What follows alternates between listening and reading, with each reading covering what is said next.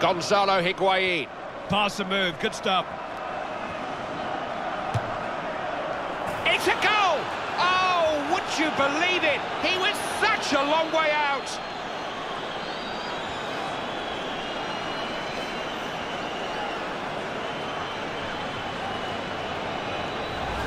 Managers are paid to make substitutions. They don't all work quite as well as that one, though. It's a thumping strike, Clive, no question about that, but static defenders and a goalie who doesn't really look like he's at the races, I think that's why it's in the net. We can take another look at that wonderful goal.